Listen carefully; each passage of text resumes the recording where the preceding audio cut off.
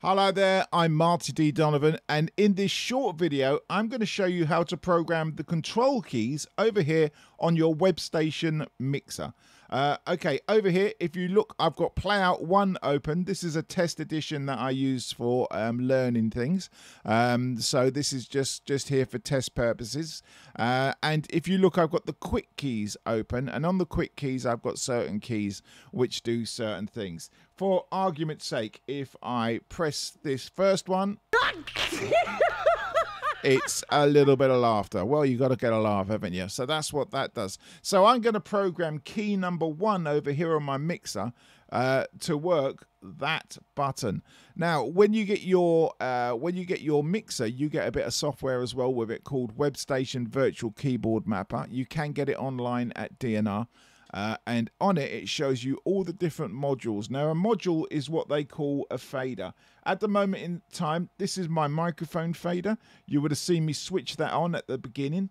Uh, this here is the playout uh, for the the carts down the bottom down here. That's what this is. Uh, this video here sorry this mixer volume here or this uh, module here is for the quick keys over here. So it only plays these quick keys over here. And this is the PC. This is what the computer plays on. If I ever have to take something straight off the internet, um, it will come straight via this. And this is used for Skype. So I have two microphones, the playout, I have the carts, and I have the PC. You can see how it's wired up. But over here, I want to wire these buttons to push off um, my quick keys for me. So, um, Playout One are really concise, very good. They got this great uh, web page uh, at the help section on their website, uh, and it maps out all the keys for you. You can map out all the keys. So, um, anything inside Playout One with a with a mapped out key can be activated via this board. But what I'm gonna what I'm gonna do is let it fire off this one laughing jingle over here.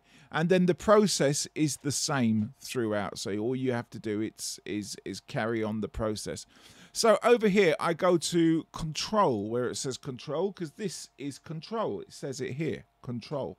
Okay? And 1a there's a and there's one. So it's going to be that button. Now if we go back to uh, Playout One uh, Playout One tells us for the first one, it's Control, Shift, and A. Well, okay. So over here, I say Control. And over here, I say Shift. And over here, I say Key A. Like that. And then I activate it by ticking it. And when I tick that, watch the control center over here. That clicks on. I can now save that so it's saved and every time it reboots it'll it'll know what to play. And then whilst i'm playing my music um, i'll play this song here which is uh, joe keeley and the joe keeley band. Great song. It's called the end of the world. It is uh, not copyrighted at this moment in time so i should get away with playing it. It goes like this. Now if i wanted to put my uh, laughing jingle in the top i'd just press the button